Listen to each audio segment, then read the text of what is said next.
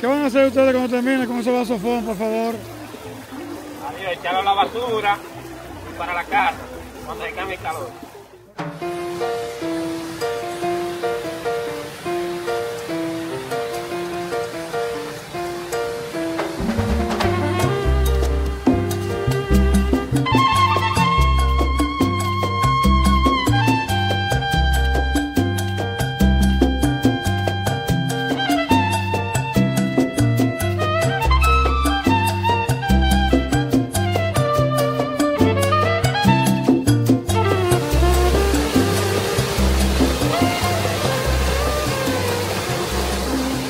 Refrescándonos en el hermoso río de Bellavista, ecoturismo puro. Así que invitamos a todos aquellos que pueden vernos de que vengan a Bellavista Sosúa, agua natural y pura.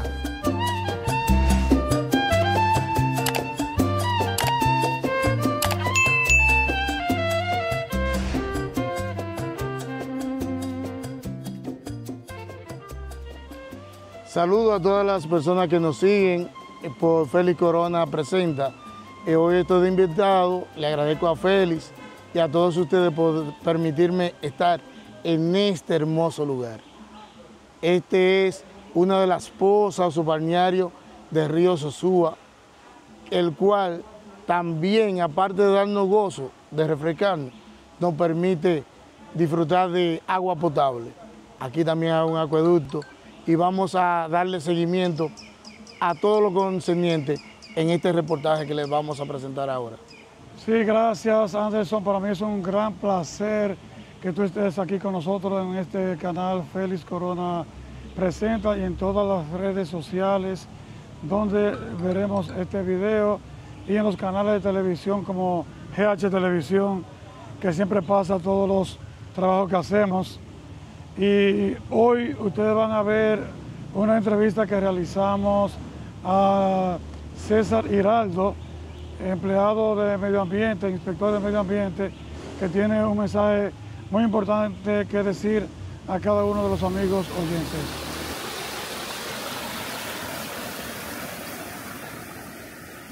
Hoy tenemos aquí gente que tiene aprecio por los recursos naturales y el medio ambiente aquí en la República Dominicana. Bienvenido César Hiraldo y bienvenido eh, Anderson, que está aquí con nosotros para tener un conversatorio acerca de todo lo que tiene que ver con el cuidado de los recursos naturales, los ríos y demás. Buenas tardes, saludos. Sí, muy buenas tardes. Eh, mi nombre es César Hiraldo. Estoy ahora mismo representando al Ministerio de Medio Ambiente. Eh, para mí es un honor esta tarde de que ustedes estén con nosotros aquí para hacer un conversatorio con relación a lo que es el medio ambiente. Estamos prestos a cualquier pregunta y a cualquier información que ustedes entiendan que debemos suministrar. Me traje por aquí a, a Luis Jacobo Almonte, que es un ingeniero informático, pero también ejerce las labores periodísticas y tiene muchas inquietudes con relación al cuidado de los recursos naturales. Sí, enfatizando con nuestros recursos número 1A, que es el río Sosúa, prácticamente nuestra fuente acuífera más grande que tenemos. César, hablando de desde qué año tú sientes, ya sea por impacto del clima o por impacto de la gente, desde qué año más o menos tú sientes que ha bajado la cantidad de agua que baja o, o cómo está bajando el agua. Eh, sí, muy bien. Miren, en los últimos cinco años, o quizá en la, en la última década, hemos visto que los acuíferos han aumentado de caudal cuando viene una crecida. Se hacen de forma, eh, de forma eh, irregular, como anteriormente los hacía. Eh, ya que yo tengo experiencia que desde el año 1975 resido aquí en, en Bellavista y no en, en esto, en, hasta esos tiempos no, a, nosotros no hubiéramos visto eh, una crecida tan grande como las últimas que se han eh, creado eh, en estos días.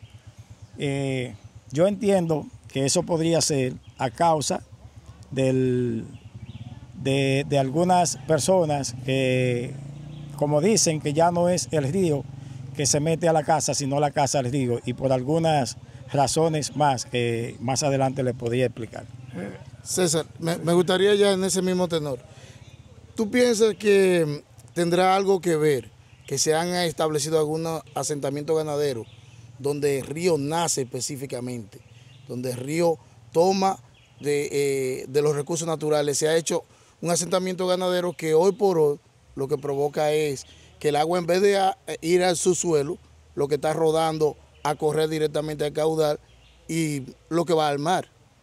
Eh, bien, sí, como usted dice, justamente por eso el Ministerio de Medio Ambiente, nuestro ministro Miguel Seara Jasto, se ha dado cuenta de que a partir de esos asentamientos, los caudales de, los ríos han aumentado y por eso son las crecidas de río de forma inadecuada, por lo que el ministro y los técnicos que vinieron a supervisar esta área de la cuenca del río eh, Sosúa eh, están preocupados por esa causa y están haciendo un levantamiento ya que el sábado se hizo la apertura de una reforestación de esos ganaderos que se le va a plantar árboles en su territorio con derecho a que cuando esos árboles estén de provecho ellos lo puedan eh, aprovechar. Con relación a esa plantación de árboles, ¿cómo van a evitar que el ganado destruya esos árboles que le permita crecer? ¿Cómo van a evitar que las vacas no se lo coman o, o lo tropeen con las patas y cosas así? Eh, justamente se están haciendo lo que se llaman linderos maderables. Eso se hace al lado del cercado de los animales. Eh, me parece que se va a tomar medidas que se va a acercar esas partes para que los animales no puedan acceder hacia ellos y así protegerlos. Y va a haber una constante vigilancia con relación a las plántulas que, se vayan a plantar de ahora en adelante. Ellos tienen suficientes terrenos para poder poner las vacas en un lado y, dejar ese terreno eh, libre así sin, sin tenerlo que utilizar. Eh, bueno, en este caso lo que se está haciendo es un programa de silos pastoriles.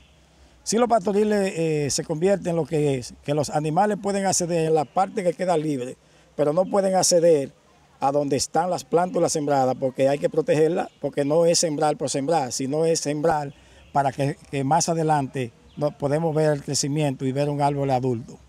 Eh, eso sería parecido también, ustedes podrían hacer ese tipo de, de trabajo en los lugares donde se han hecho poblaciones nuevas, como son los Villaparaíso, Villa Betania y lugares así que no se han hecho un sistema eh, eh, hidrográfico o de fluvial, un sistema fluvial para la lluvia. Entonces se podría hacer eso para que la lluvia no llegue tanto a las cañadas y por ende a que haga crecida. Bueno, algunos de esos sectores, antes de que tú digas, algunos de esos sectores no tienen cloaca ni nada para no, las. No existe ningún sistema fluvial, nada, ni cloacal, ni nada. En, ese, en ese sentido, tendríamos que hacer una, los técnicos ya se encargarían de evaluar esos terrenos para ver cómo se puede eh, seguir, seguir haciendo reforestaciones en los lugares así como usted me acaba de decir, que son muy vulnerables y se necesitan de los árboles para que no haya eh, erosión. ¿Tiene el Ministerio de Medio Ambiente, los inspectores, ustedes, algún tipo de autoridad que le permita impedir que se sigan llenando las orillas de las casas, de las orillas de los ríos de casas?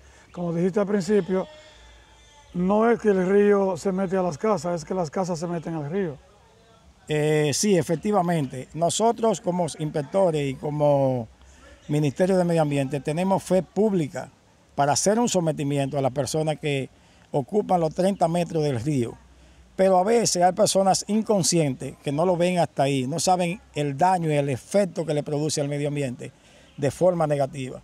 Entonces, estamos ahí, la ley está ahí, la ley 64-00, y se le puede aplicar todo el peso de la ley a esa persona eh, si, si, hacen cualquier tipo de, de actividad eh, dañando al medio ambiente. Y con relación a esas personas que vienen aquí al río eh, con su carro y en motocicletas y comienzan a lavar esos vehículos aquí dentro del río o que vienen a tomar bebidas alcohólicas y dejan las botellas y los vasos dentro del río, como ya hemos visto algunos en este momento. Bueno, ya esa parte ahí eh, habría que profundizar más. La gente no estamos tomando conciencia ni nos estamos dando cuenta cómo dañar al medio ambiente. Sin medio ambiente no hay forma como vivir. Y lo primero que tenemos que conservar es el agua. Ellos vienen a disfrutar ahora mismo porque está bonito, eh, las aguas están limpias, cristalinas, vienen a disfrutar, pero dejan todos los desechos plásticos, que eso es lo que nos va a dañar a, a nosotros. Yo quiero hacerle un llamado a todas las personas que vienen a disfrutar de nuestra belleza, de nuestros ríos, que por favor, que todo lo que ellos tragan también se lo regresen hasta el vertedero más cercano o en un depósito donde el ayuntamiento pueda regresar eso a un lugar donde no contamine. Yo quisiera también que se implementara, hacerle un llamado a medio ambiente y a quienes pueden, a que se haga lo siguiente, se, haga, se establezca un régimen de consecuencia para las personas que no quieren escuchar, pero también se haga una campaña de educación porque hay personas que no saben ni siquiera el impacto que provoca muchos de los Pero daños. las leyes están ahí hace mucho Exactamente. Hacer cumplir las leyes con un régimen de consecuencia que le dé el cocotazo que sea necesario. Eh, yo, yo entiendo que sí, eso es verdad. Tiene que haber un régimen de consecuencia. Y yo soy de lo que digo, personalmente lo digo, que esas multas no hacen efecto. Aquí lo que hay es que someter y meterle cárcel a la persona una medida de cohesión para que ellos de, verdad sientan lo que es el medio ambiente, porque sin eso no, no hay forma como vivir. Nosotros no nacimos con un tanque de oxígeno para, para nosotros mismos proveernos nuestro oxígeno, el que respiramos. Son los árboles quienes producen eso. Y nosotros no nos estamos dando cuenta de eso. Y por eso es que el medio ambiente cada día está más afectado por la mano criminal del hombre, que es la parte más dañina que tiene el ser humano es la parte más dañina para el medio ambiente. Bueno, muchísimas gracias César. Eh, agradecemos que haya dedicado estos minutos a los amigos televidentes y los amigos que nos siguen a través de las redes sociales, eh, siempre eh, dispuestos para estar con nosotros. Muchísimas gracias. Estamos prestos, disponibles para cualquier otras informaciones que ustedes entiendan pertinentes que le podemos suministrar. Estamos a la orden. Muchísimas gracias. Mensaje, colaboremos todos. Todos respiramos, necesitamos de medio ambiente.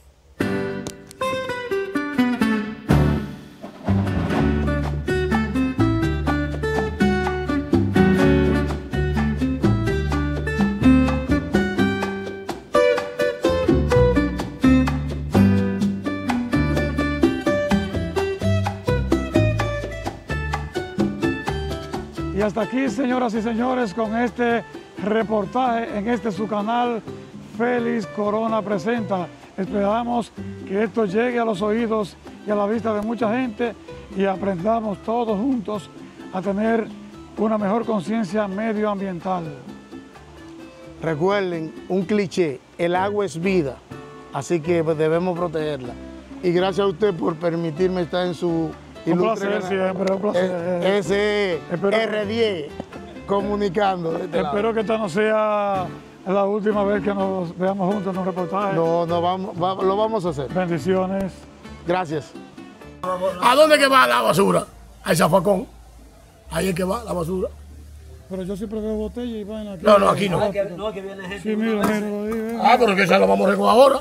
Ah. Sí, porque si fue ahora mismo que se la ve bien y fue un, un, antisocial que la tiró ahí. ¿Ustedes llaman antisocial a la gente que tira basura en el río? Pero venga acá, obligado, porque la basura va a ir zafacón, ¿eh? Estamos de acuerdo.